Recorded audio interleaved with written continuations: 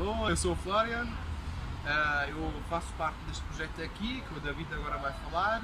Eu sou um postdoc aqui na Faculdade de Ciências e eu trabalho com um, a vida do solo e com compostagem e a interação do solo com as plantas. Olá, eu sou o David, uh, o macro-organismo aqui da, da, também da, da Horta School, sou biólogo de formação, uh, trabalho em investigação em alterações climáticas, adaptação às alterações climáticas e sou co-guardião uh, também da, do Permalab, onde estamos, da Horta School. A Horta School é um projeto de permacultura feito por e para e com estudantes, investigadores e professores aqui da Faculdade de Ciências, uh, onde tentamos trazer propostas para uma cultura permanente e testá-las cientificamente, experimentar. Temos vários projetos, não só aqui no campus como fora, e sabemos que os micro-organismos, apesar de invisíveis ao nosso, aos nossos olhos, são bastante visíveis aos nossos corações porque são eles que, que suportam a vida de tudo o que fazemos aqui. E portanto hoje vamos tentar mostrar-vos alguns dos exemplos.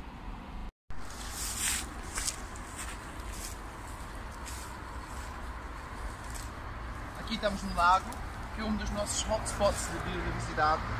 E uh, além das plantas autóctonas que estão aqui dentro, nós temos aqui os nossos amigos as algas, que também são micro-organismos que uh, são, são bombas de nutrientes e elas basicamente tiram os nutrientes do lago e depois, por vez em quando, quando elas estão, estão densos demais, nós tiramos e depois usamos como mulching para pôr os nutrientes que estão aqui no lago, depois aqui na nossa horta e para não eutrofizar uh, o lago.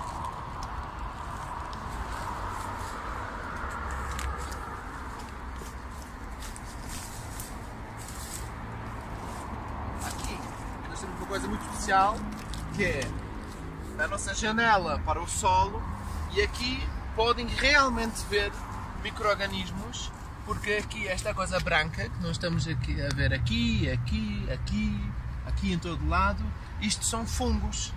Alguns deles são fungos uh, saprofíticos que vão degradando uh, as raízes que estão aqui, que estão mortas, outras devem ser micorizas e estas micorizas depois apanham nutrientes aqui do solo e transportam os nutrientes para as raízes, para depois ser apanhadas para as plantas.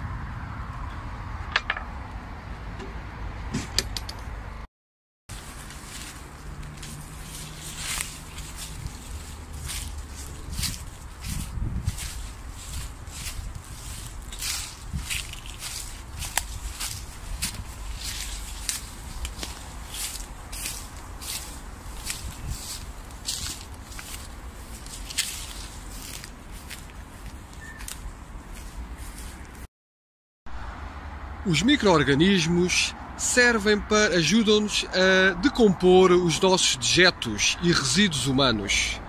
São muito eficazes nesse papel e alivia-nos de resíduos indesejados.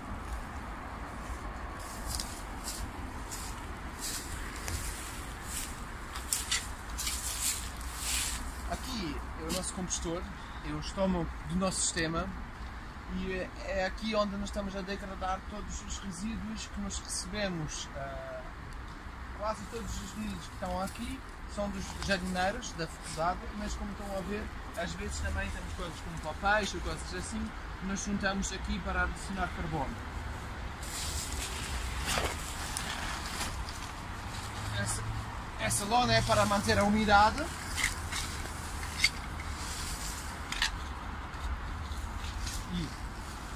dentro conseguem ver os micro-organismos a funcionar. Hã?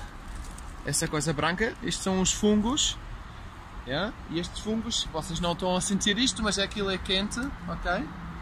E são os fungos termofílicos que estão a degradar aqui a biomassa. Depois degradado, aquilo fica assim. Já está bocado seco. Olha, então temos aqui um bom composto, uma minhoquinha, vários outros bichos e isto depois vai ser crivado e serve para alimento para as nossas plantas. Bem-vindos à nossa estação de vermicompostagem. Basicamente, aqui chegam todos os resíduos alimentares do campus da faculdade, bares e cantinas, que hum, servem como cascas de banana, cascas de laranja, uh, borras de café, e vêm aqui e são digeridos pelos, pelos nossos micro-organismos companheiros, como neste caso estão a ver uh, as minhocas, neste caso a minhoca vermelha ou californiana, mas outros trabalhamos com as larvas de uh, mosca, mosca soldado negro, mas aqui sobretudo vê-se minhocas. Elas basicamente digerem um, o seu peso várias vezes por dia, 24 horas por semana, 7 dias por semana, sem greves, decompõem os nossos os resíduos e transformam-nos neste verme composto super fertilizante uh, e nutritivo para as plantas. E elas só funcionam porque elas têm no estômago micro-organismos. Exatamente. Nós aqui, como uma estação de experimentação, temos este modelo feito em adobe, em madeira, mas temos outro, como experimentámos o sistema de caixas.